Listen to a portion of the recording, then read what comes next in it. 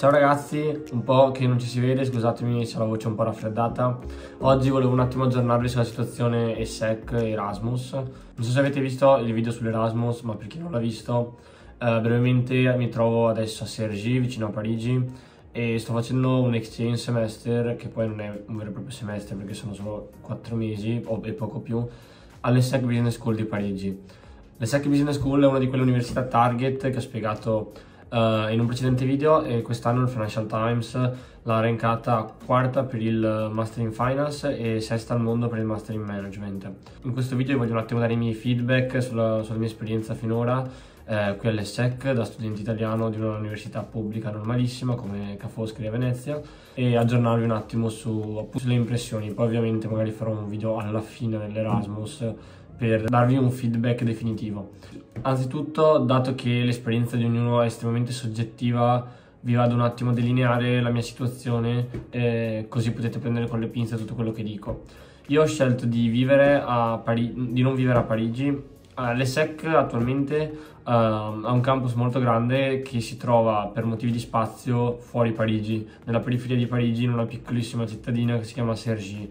Um, Cergy è circa un'ora di treno o di RER uh, da Parigi, 45 e io ho deciso di non prendere la casa a Parigi ma di vivere in un residence insieme ad altri miei amici uh, qui, qui, a Sergi appunto. Sono, è un residence molto grande ognuno ha diciamo la sua stanza privata uh, che comprende una stanza, un bagno e una mini cucina. Uh, il mio Erasmus è partito il primo settembre e terminerà il 20 dicembre con gli ultimi esami il 18 se non sbaglio e i corsi che attualmente sto frequentando sono uh, M&A Private Equity, Private Equity and Venture Capital, uh, Corporate Finance, Strategic Management, uh, Beginner French e Blockchain Unchained, ah e anche Business History, però era un corso breve. Dopo vi spiegherò meglio comunque nel dettaglio la struttura dei corsi, come funziona, perché è abbastanza diverso dall'Italia.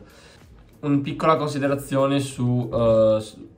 le scelte che ho fatto io, ad esempio, di vivere a Sergi rispetto a Parigi. Quando, qualora voi stiate considerando il SEC per un Erasmus o per un Master.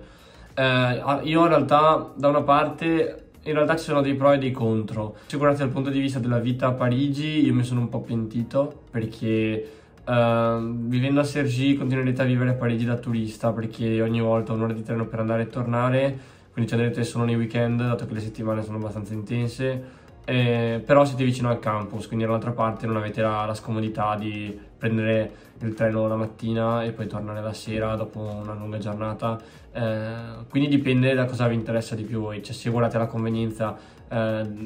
della vicinanza del campus, eh, sergiti tutta la vita, altrimenti se volete un attimo vivervi la vita parigina, eh, prendevi una casa a Parigi. Se devo essere sincero, mia opinione personale, tornando indietro avrei preso la casa a Parigi perché è un peccato appunto non viversi il clima parigino, ma soprattutto quando andate a divertirvi la sera, che magari andate nei club a Parigi o in giro, ehm, gli orari di treni sono limitati, quindi l'ultimo treno è all'una che parte eh, per, um, per Sergi eh, e il primo della mattina alle 5.30. Questo significa che praticamente ogni volta che andate a fare serata dovete tornare alle 7 di mattina a Sergi ehm, e questo non è proprio il massimo. Ovviamente a meno che voi non vogliate prendere un Uber o un taxi che si aggira comunque intorno ai 100 euro. Adesso voglio fare un po' di considerazioni su eh, come una business school in generale, una top business school e le differenze che ha da una classica università italiana. Innanzitutto eh, strutturalmente è proprio diversa. Lì c'è un campus gigantesco eh, con mille attività, mille laboratori, si vede che hanno più soldi da investire perché hanno ad esempio alle SEC c'è il K-Lab eh, per finance con tutti i terminali Bloomberg, poi ci sono i laboratori per quelli che vogliono fare graphic design, marketing con tutti i Mac attrezzati, c'è la sala trading, un sacco di aule dedicate per studiare, la libreria eh, super organizzatissima, ci sono dei ristoranti all'interno del campus, ci sono tre mense, c'è uno Starbucks, eh, ci sono un sacco di, di aule a disposizione degli studenti per i più svariati scopi, anche le associazioni studentesche hanno tutti quanti i loro uffici, c'è un bar degli studenti all'interno, cioè è, è, proprio una mini città. Poi un'altra cosa diversa è il, è il, fatto che sarà un mix culturale assurdo, perché una, in una top business school ci sono studenti che vengono da tutto il mondo davvero, e avete, avete, modo di conoscere e lavorare con persone con diversissimi background culturali. A mio parere c'è anche più consapevolezza sul mondo del lavoro eh, e come funziona, diciamo, tutte quelle regole non scritte, è più facile trovare persone eh, motivate, magari con cui preparare, non so, application, eh, interview, eh, case study, eccetera, rispetto a un'università pubblica italiana. Anzi, sono quasi sempre tutti che fanno application eh, poi anche l'università aiuta molto sotto questo punto di vista perché hanno solitamente le business school hanno dei career service pazzeschi, organizzano continuamente eh, company presentations, eh, esperti che vengono apposta a fare training su come passare le, le, interview delle più grandi aziende, per, sia per banking che per consulting, fanno case preparation, eh, ovviamente è programmi tutti facoltativi. Ci sono un sacco di aziende che aprono posizioni eh, esclusive per gli studenti da quella business school, quindi avete anche dei vantaggi su determinate application e, e veramente le aziende sono molto molto più presenti nei campus rispetto magari alle università classiche italiane. Ora invece posso parlarvi più nello specifico di com'è ESSEC perché chiaramente um, prima ho detto in linea molto generale raccogliendo la mia esperienza quella un attimo dei, dei, miei amici che sono in giro per il mondo in diverse business school mentre posso andare più nello specifico per ESSEC. Allora, anzitutto non, ha, non era come me l'aspettavo eh, nel senso che è molto eh, rilassato il clima in realtà all'ESSEC Uh, gli studenti più motivati e più driven sono quelli internazionali. Gli studenti francesi invece qui devono praticamente fare un test, uh, devono, fare, devono, studiare un anno prima di applicare per il bachelor in una top business school che si chiama Grande École e poi devono fare un esame di stato molto difficile. Una volta che l'hanno passato praticamente smettono di preoccuparsi di studiare e si rilassano, bisogna solo divertirsi. Quindi sostanzialmente gli studenti del luogo qua, le SEC al bachelor, studiano davvero molto poco quelli internazionali che ci tengono di più eh, sono più sul pezzo, però comunque eh, non, non, dovrete mai studiare veramente dei libri come in Italia, cioè proprio anzi non ve li fanno nemmeno comprare. Anzi, proprio in realtà i libri non ci sono, cioè non dovete comprare nessun libro per nessun corso. Eh, le lezioni sono molto più lunghe che in Italia, durano 3 ore, 3 ore a lezione con una pausa in mezzo di 15 minuti quindi sono abbastanza intense e potete avere da un minimo di una lezione al giorno fino a tre lezioni in uno stesso giorno, quindi 9 ore di lezione e cambiate le aule chiaramente a seconda delle lezioni, sono molto più piccole le aule, sono circa mm, massimo per 40 studenti, massimo, però il numero medio direi che sono 30, 25, 30. E I corsi ce ne sono alcuni obbligatori a seconda della laurea che state, volete prendere, altri invece, molti invece sono facoltativi, scegliete ovvio a quali iscrivervi a seconda del percorso e del taglio che volete dare alla, alla, vostra appunto laurea e siete in classe sia con studenti francesi che con studenti internazionali. Le lezioni sono quasi tutte in inglese, ci sono anche alcune lezioni in francese, ma la maggior parte sono in inglese. Eh, I professori sono... La differenza principale nei professori secondo me è che qui sono tutti prima professionisti e poi professori, cioè hanno tutti fatto esperienza lavorativa e non sono nati, non hanno fatto un percorso accademico a differenza di, dell'Italia dove magari hanno sempre insegnato. Quindi ma questo non vuol dire che siano per forza bravi perché io ho visto qua professori essere dei grandi professionisti sul lavoro ma non così tanto abili nell'insegnamento. E, ehm, quindi i corsi di finanza solitamente sono ex investment banker oppure eh, partner di fondi di investimento fondi di private equity eh, che poi vengono a insegnare ma appunto eh, il curriculum professionale non è correlato alla capacità di insegnamento. Però eh, tuttavia questo si riflette molto sul metodo di apprendimento che decidono di adottare. Uh, infatti qua le lezioni in generale uh, sono molto più orientate verso un approccio pratico che teorico. Uh, questo perché? Uno, non ci sono libri, eh, si studia e due c'è questa cosa chiamata continuous assessment, cioè il voto non c'è mai un esame finale che determina il 100% del voto, alcuni corsi non c'erano nemmeno un esame finale, altri ce l'hanno ed è solitamente un quiz e che impatta solo il 20%. Poi c'è questo continuous assessment che significa che voi durante tutto il corso dovrete fare delle presentazioni, uh, consegnare dei project work, uh, fare dei, degli esercizi particolari o uh, dei progetti e, che, e, ovviamente in base al corso avrete valutati io ogni, ogni assignment avrà un peso diverso a seconda della, del professore però Eh, solitamente almeno una presentazione per corso, eh, quindi significa che avete un gruppo con cui dovete fare una ricerca, poi un PowerPoint esporre davanti a tutta la classe, argomentando. Eh, un, ad esempio io per il corso di M&A ogni settimana devo fare una valuation di un'azienda e quindi eh, consegnarla in tempo e poi ci sono altri corsi dove mi hanno richiesto ad esempio di scrivere dei paper, degli articoli e qua non esistono gli esami orali, cioè non ci sono mai esami orali tipo uno a uno col professore come in Italia. Al massimo appunto sono presentazioni dove si parla davanti a tutta la classe, ma il prof non, raramente fanno domande e mettono in difficoltà. I voti sono da 0 a 20 e, e mentre gli esami finali sono quasi sempre uh, scelta multipla. Eh, però dipende davvero tanto dall'esame, cioè ad esempio c'è un esame di, che stanno facendo i miei amici che si chiama Sim Trade, che è una simulazione di trading dove avete accesso a una piattaforma e, la perfor- e dovete tradare ogni settimana eh, seguendo le notizie, i grafici e la performance finale determina il, il vostro voto. I voti sono da, da, 0 a 20, 20 al massimo e non corrisponde a 30 lode, basta prendere un 16 eh, per aver convertito un 30 lode perché qui 20 nessuno lo prende praticamente, cioè davvero impossibile. Io non ho ancora incontrato una persona che abbia preso un 20 e solitamente prendere 13, 12, 13 è veramente facilissimo, cioè quasi impossibile non passare un corso a meno che non si, eh,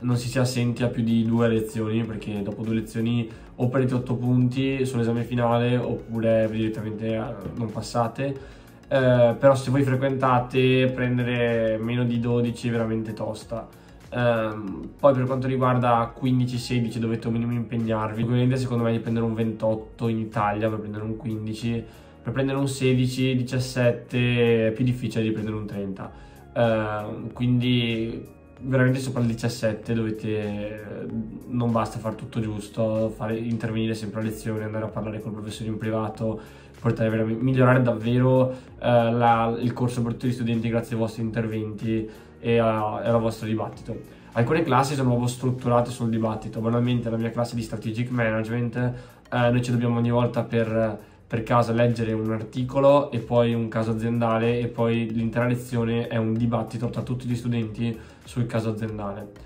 E, e, quindi conta anche molto le interazioni che avete, come esponete le vostre argomentazioni, Uh, bisogna anche saper essere diplomatici in un certo senso. Non preoccupatevi troppo per il livello di inglese perché business English è diverso da uh, conversazione normale. Se siete un po' sul, sul settore, vi piace leggere, siete un po' appassionati, vi dovrebbe venire molto più semplice parlare di business uh,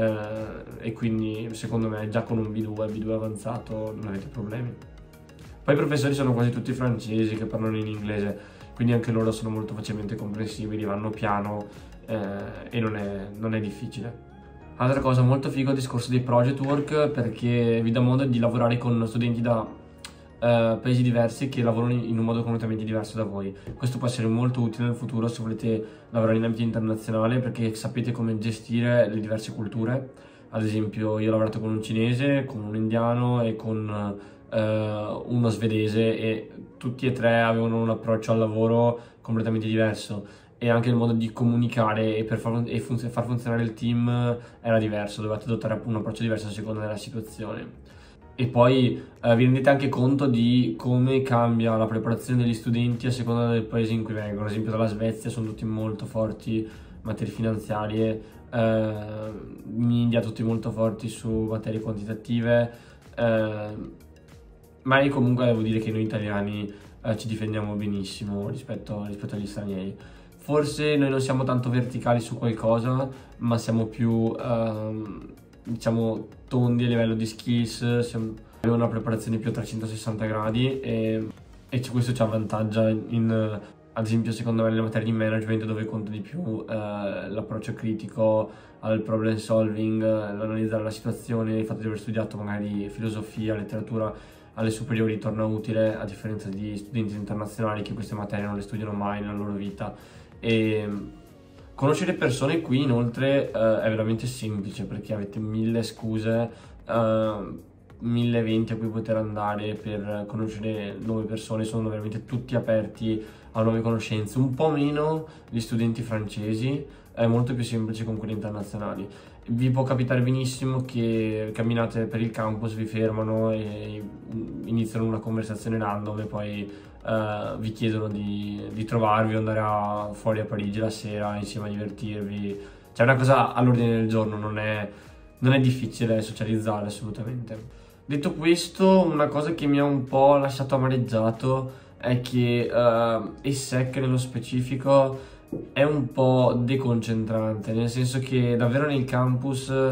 ci sono un sacco di distrazioni ed è sembra un, un parco giochi certe volte. Cioè per dirvi hanno montato l'altro giorno una piscina gonfiabile al centro della hall e la gente faceva surf oppure hanno montato eh, il pungeball, tornei di FIFA e eh, dentro i corridoi. Ci sono queste associazioni studentesche che fanno un sacco di robe fuori di testa. Eh, certe volte non, non, so neanche il motivo, ad esempio l'altro giorno c'era una ragazza che, con un pesce in mano che schiaffeggiava delle persone, cioè robe assurde. E, che, che sì però è divertente, però eh, vi distrae anche molto, vi distrae anche molto. Ad esempio c'è sempre musica per tutto il campus, per le persone che fanno casino. E, e questo non c'è nulla di male nel divertirsi così, però secondo me preferisco l'approccio ad esempio delle scuole americane o di altre business school dove magari ci sono eh, degli edifici separati dove fare tutte queste cose, però eh, restano un po' sacre, diciamo, le parti dedicate alle aule dove si studia e, oppure dove, e dove si fa lezione, mentre qua è tutto un unico edificio con tutto che succede ovunque. Un'altra cosa eh, che vale per la mia esperienza, ma penso anche per le altre, quando andrete in Erasmus eh, preparatevi a dover fare il doppio delle cose in metà del tempo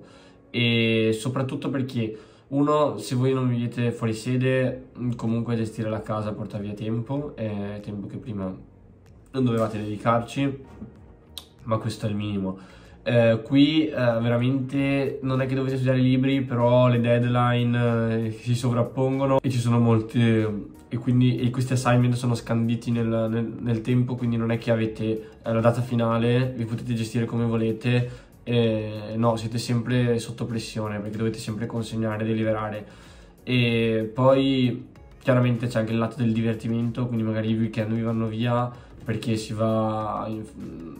si va a Parigi, si, si va a divertire. È difficile gestire il tutto, ehm, ma questo può essere sia una cosa positiva sia una cosa negativa perché poi una volta eh, finita questa esperienza sarete migliorati sotto questo aspetto. Questo video aggiornamento è tutto, speriamo di vederci presto con un prossimo video, non so dirvi quando ragazzi perché qua è tutto molto dinamico, dipende appunto dal discorso che ho appena fatto, e, ehm, però spero di, di riuscire appunto a portarvi nuovi contenuti presto. Fa molto piacere che gli iscritti siano cresciuti anche se non ho pubblicato video per quest'ultimo mese e che comunque avete continuato a scrivermi, a contattarmi su, su Instagram, su LinkedIn e mm, per quanto quando riesco cerco sempre di rispondere a tutti. Ragazzi, eh, ci vediamo al prossimo video. Se volete nuovi contenuti lasciate mi piace e iscrivetevi.